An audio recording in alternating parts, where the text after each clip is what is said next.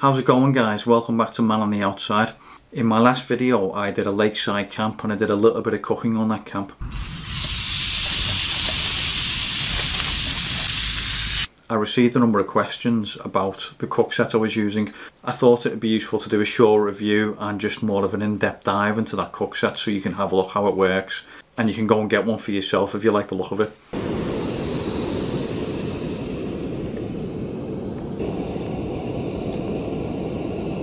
So this is the cook set that I use. It's called the Quechua MH500 Hikers Camp Cook Set. It cooks for two people. You can get a four person version of this but obviously it's a lot heavier and it's not really much good for wild camping so I take this wild camping with me. So the reason I bought this cook set I was actually recommended it so my brother bought one about 12 months ago and I went out wild camping with him a couple of times while he was using it and I was really really impressed by the quality of it and how compact it was so I decided to get my own. So let's have a look in more detail. So the cook set comes in a small carry bag like this.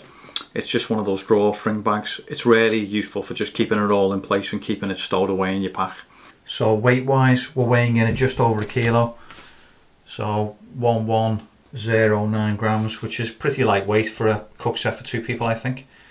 So the cook set breaks down into separate components. So the first component is our trivet here and that's just for putting your pans on there then the next section is the frying pan here, which just pops away like that. And you can see handle locks out like that. just locks in place there. So you've got a nice size frying pan. This will easily fit two steaks in. I did do a lakeside camp where I used this to cook a couple of fillet steaks.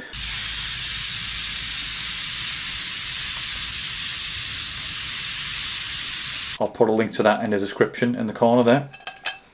Next you've got your knives, forks and spoons which all quite cleverly snap to the top and I'll just show you how they work.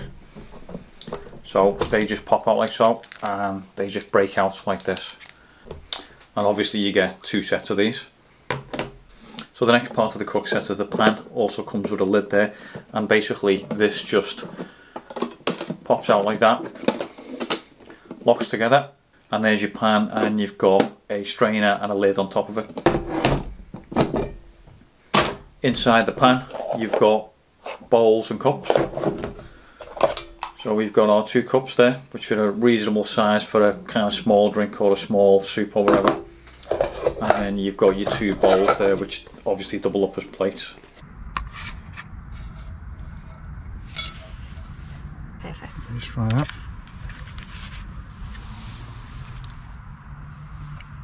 Mm. Oh god, that's good.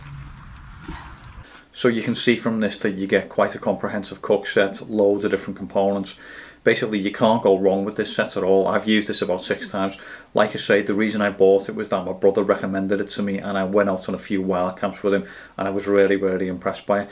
So you can pick this up in any Decathlon store. It's $29.99 at the moment. I'll put a link in the video description where you can go and have a look at it. There's a four person version of this cook set as well. It's obviously bigger and weightier, but for wild camps this is just perfect for me.